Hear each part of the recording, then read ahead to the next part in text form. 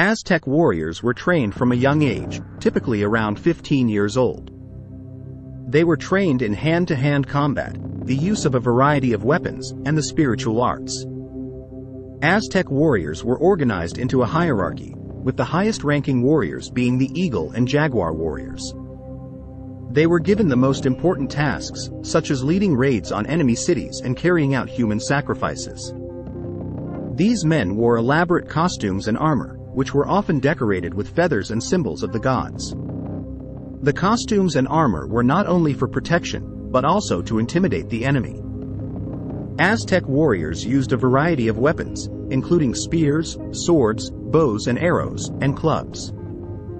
The Aztec warrior culture came to an end in 1521, when the Spanish conquistadors led by Hernán Cortés conquered the Aztec Empire.